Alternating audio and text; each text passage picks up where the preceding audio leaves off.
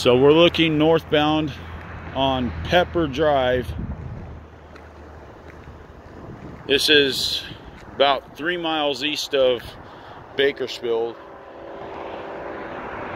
And I hear a train coming. This line is shared by both BNSF and UP.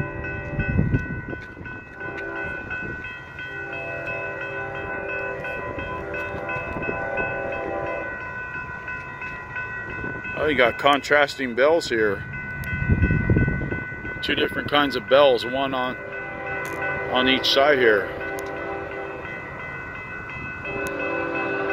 Gives it a cool little sound. What kind of train is this? Oh.